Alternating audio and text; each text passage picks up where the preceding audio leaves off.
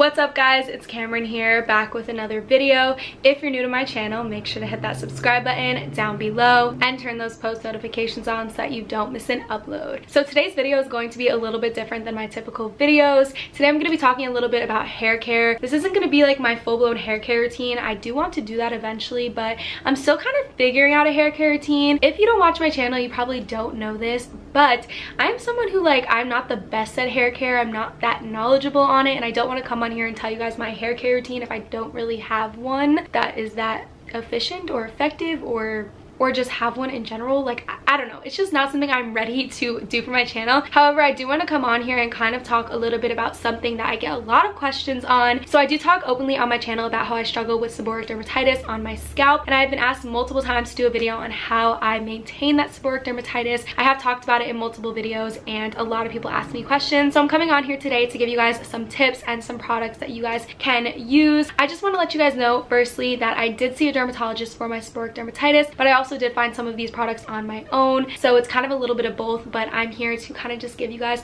my advice and my tips. So we're gonna do an entire video about scalp health, which is very different. I am not a doctor, I'm not a dermatologist, so I'm coming on here with my personal knowledge that I have learned from research and learned from speaking to my dermatologist. So without further ado, let's just get on into the video. So I do wanna start off by saying that the brand Zion Health actually sent me a few products for this video. I have been trying them out for weeks now, actually over weeks. I've been trying them out for um, over a month now now. Um, I've had their products for a while, so I've actually used them enough before filming this video to be able to like tell you guys how well they work. So although this video is sponsored, majority of the products I'm showing you are products that I found on my own or from my dermatologist. And then the Zion Health products are products I've been trying out for a while that they did send me. So thank you to Zion Health for sending me those products and for sponsoring this video. But we're gonna get into the scalp health routine. So to start off, I just wanna tell you guys a little bit about some things that I've learned about scalp health. So my entire life, I've struggled with severe dandruff and I felt very insecure about it for so, so long and I want to tell you guys if you have dandruff don't feel insecure. Don't let anyone make you feel insecure because people used to make jokes about it all the time when I was little and it's honestly so annoying. I had someone comment on my video once saying that people used to tell them they had nits in their hair. But you guys dandruff is completely normal and we need to normalize it okay? So pretty much I've always had severe dandruff and I finally decided to see the dermatologist for it because head and shoulders was just not cutting it anymore. So when I saw my dermatologist she gave me a treatment and basically told me that I have seborrheic dermatitis on my scalp. So for years of having dandruff dandruff, I've been under the impression that the reason I have dandruff is because I have a very dry scalp and dry hair. And so in results, I have been not washing my hair much. I wash my hair once to twice a week. And I thought that that was helping me because apparently when you have dry hair or a dry scalp, that's what you're supposed to do. But after talking to my dermatologist, I learned that that is not actually true at all. And yes, washing your hair less often might make your actual hair healthier, but for your scalp health, it's really not benefiting you as much as people tell you it is. And washing it more frequently can actually be better for your scalp. I'm not telling you to wash it twice a day, every day, no, but you can wash it every day and it isn't as much of a problem as people make it seem. And I've been under an opposite impression for all of these years. So kind of learning about this more has been really interesting to me because I'm very intrigued by it. So I do want to tell you guys a little bit about what seborrheic dermatitis is. So I'm going to give you a Google definition because again, I'm not a doctor and I don't want to give off any like false information. So we're going to give a definition straight from the internet. So it says seborrheic dermatitis is a skin condition that causes scaly patches and red skin mainly on the scalp. It can also occur on oily, oily areas of the body such as the face, upper chest, and back. So pretty much what I did learn about seborrheic dermatitis is that it is actually caused from oil buildup and it is not actually as much as having like a dry scalp so much but actually buildup of oil. So although my hair itself was not looking oily and was actually looking dry, my scalp was oily. So sometimes you'll see people who actually have oily and greasy hair who also have seborrheic dermatitis and have an oily scalp but sometimes you'll see people whose hair looks normal or feels normal or whose hair looks dry or feels dry but they actually have an oily scalp. That's pretty much what it is with me is that it was just a buildup of oil and that's why they say with seborrheic dermatitis you actually have to wash your hair more often. Because of that oil buildup you need to really be scrubbing your scalp and using shampoos that are going to really help and target that area. So that's kind of a little explanation about that. I also have learned more recently that scalp exfoliation is so so helpful for oil buildup on your scalp. And because I have seborrheic dermatitis, I do suffer from tons of oil buildup on my scalp, as I'm sure many of you guys do as well. So using scalp scrubs can be super helpful as well, which I actually have one from Zion Health to show you guys, which I'm gonna get into in a few minutes. But I do wanna briefly just show you guys the shampoos that I use and the treatment that I do. So my dermatologist did recommend a five shampoo treatment to me for my seborrheic dermatitis. I was doing it every single day for a month and then I switched to every other day because I kind of got tired of washing my hair every day and she said that if it was getting better after a month, I can switch to every other day. So that's what I've been doing ever since. I've been doing it since the beginning of January and it has been a miracle for me. So I'll briefly just show you guys the shampoos that she told me to use. I'm not going to go into detail with them because I honestly don't know too much about them besides the fact that she told me to use them. So pretty much this is the exact order she told me to use them in. Also, all of these shampoos besides one can be found at your local pharmacy or drugstores. The last one is actually prescribed to me. So if you wanted to try the last one, you would have to go to a dermatologist yourself. In the exact order, she told me to use Neutrogena's T/Sal shampoo. This is just the therapeutic shampoo scalp buildup control. And then the, the Neutrogena T gel shampoo, which is, this is the extra strength one.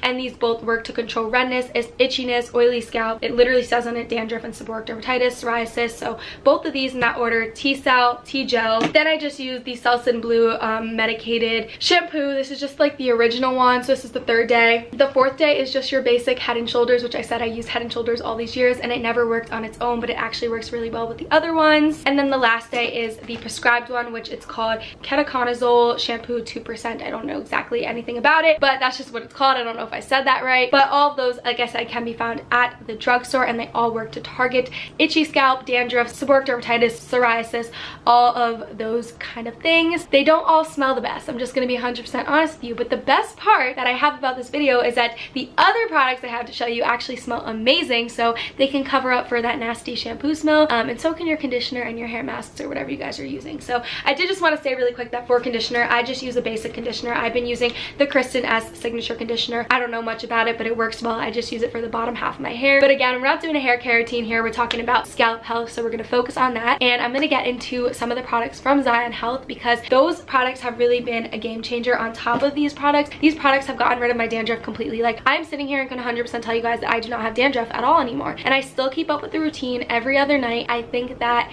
I have definitely helped my problem 100% with that routine along with these two products I'm about, that I'm about to show you guys from Zion Health. So Zion Health was nice enough to send me their deep cleansing scalp and hair scrub in the green apple scent. This has argan oil in it as well. And then they also sent me, I still have the box for it, but this is their scalp nutrition serum, the intense scalp revitalizer with nourishing oils. And their products are vegan. So I'm gonna talk a little bit first about the scalp scrub. So pretty much the scalp scrub I use before doing my shampoo. I'm pretty sure that's what you're supposed to do because then you can actually like wash it out after. But the smell actually lingers. Like I'm telling you guys the truth, you can still smell the green apple even after rinsing it off. So like I said, the smell will like cover up for the nasty smell of the shampoo. It genuinely does. So pretty much I'll just show you guys what the scalp scrub looks like. So I've used like a good amount of it so far as you guys can tell, but it just looks like that. And it's honestly like a pretty loose consistency. The exfoliating beads in it are not super thick. Um, I know a lot of people say with scalp scrubs they don't like it because they feel like the beads get stuck in their hair, but you really have to make sure to fully take your time rinsing it out, lifting up parts of your hair, and then when you shampoo, just really scrub the scrub in your scalp to make sure that you get it all out. But this scalp scrub helps so, so, so much. So I'm you guys a little bit of an overview of scalp exfoliation because again, I did my research. So this says that scalp exfoliation involves using physical or chemical exfoliants to remove excess skin cells, oil, and dandruff. Many hair experts maintain that regular scalp exfoliation is the key to healthier, shinier hair from the roots to the tips. I can definitely agree with that because after using this, my hair honestly is so much shinier, especially using all of those products. You'd think that those would dry out my hair and damage my hair. It genuinely didn't. And I think a big part of it is because I've been using this with it. So with that, it pretty much says you can use a physical or a chemical exfoliant. This is actually a physical one. A chemical one would more be like a serum or something like that looks like a serum, like a liquidy one that you would just put in, um, like kind of like the ordinary AHA and BHA solution. It's a chemical exfoliant, so it exfoliates your face with just like a liquid serum type of thing and you rinse it off. But then there's also like exfoliators, like scrubs that you can scrub your face with. So it's kind of the same thing. So this is a physical exfoliator and pretty much the exfoliators work to get rid of excess oil. And like I said, I have seborrheic dermatitis, so that excess oil builds up and using a scalp exfoliator can really, really help with that excess oil just to scrub it all and make your scalp super, super clean. So pretty much this has pretty clean ingredients in it as well. Um, it says healing from the earth.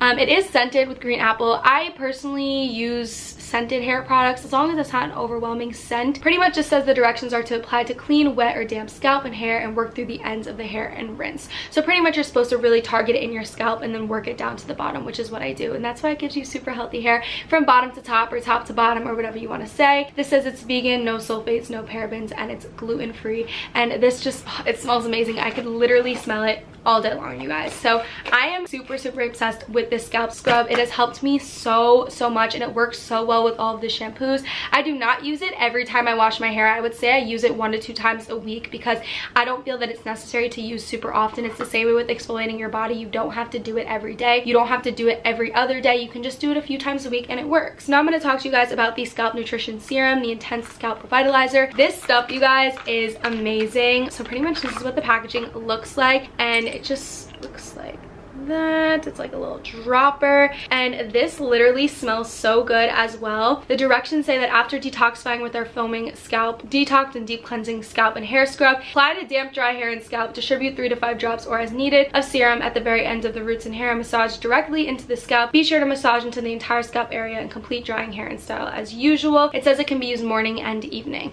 So this honestly works really well not only to give me healthy and shiny hair but it also just really helps with my scalp. Like i'm telling you that this really helps to also control the oil buildup in my scalp, which is my problem here. The two of these just work literally amazing together. I actually use this every time that I wash my hair, even when I don't use the scrub, because I just feel like this works so well and I love having it in my hair. Um, using the shampoos alone, like, yes, they really help with the oil buildup and the dandruff, but I have realized that recently, like I've said, I've always been someone, although I had the oil buildup in my scalp from the seborrheic dermatitis, I have always had very dry hair, so my hair never got greasy or oily, but now I feel like after using these products and stuff and washing my hair more often, I can tell that my hair itself has been a little bit more oily, like it'll get greasy faster. I don't really know why, I can't really explain it. I feel like this really helps to like decrease that and make it not get as greasy as easily. And I know it is a serum and it looks like it might be oily, but it actually really, really helps to control the oil. And I really like it. I like to really work it into my scalp. Like I will massage it into my scalp after washing my hair and doing everything. Like I said, you guys, these products all work amazing. You can go in with any of your other hair care products along with these products as well. But these are just to target your scalp health. And the Zion Health website is going to be in my bio with a discount code for you guys for 10% off your order. So you guys can check them out. And the other products are sold at CVS, as I said. I do want to do a full-blown hair care routine very soon, as I said, when I try to pick one up more. But remember, with these products, you can go ahead with whatever your hair care routine is. You can use whatever conditioner you want to use, hair mask you want to use, hair products you want to use. Um, but just be careful. You don't want to put too much conditioner or hair mask in your scalp. They say to actually stay away from that completely because it does add a lot of oil buildup in your scalp. So I would focus all of these products more into your scalp as well. And with the shampoos, I don't know if I clarified, but pretty much you're using one each day. So you can use them five days in a row and you just keep repeating the cycle. And then once you see the dandruff start to go away, you can switch to every other day. So I would use the first day the one shampoo, the second day the other shampoo, and you just keep going around with the cycle. And then you can just schedule days on your schedule when you want to use a scalp scrub. Scalp health is super important, you guys, especially if you struggle with dandruff or seborrheic dermatitis. Of course, you might want to see a dermatologist if it's super, super drastic where it's hurting you and bothering you and itchy and uncomfortable but these products might help you to maintain it. So I really recommend getting some of these. I know a lot of you wanted to see this video and hear an explanation and honestly it was the perfect chance for me to do it because of the Zion Health products that I received. So thank you again to Zion Health for sending me these products and for sponsoring this video. Thank you to all of you for watching and I hope that this was helpful for any of you who struggle with a dry scalp an oily scalp with dandruff with seborrheic dermatitis whatever it might be. These are my tips for you guys and let me know if you guys have any of your own tips down below in the comments. I really would appreciate hearing them because I love trying new things. And that is it for today's video. I really hope that you guys liked it. If you did, make sure to go ahead and give it a big thumbs up. Comment down below, hit that subscribe button, and I'll see you all in my next video. Bye guys.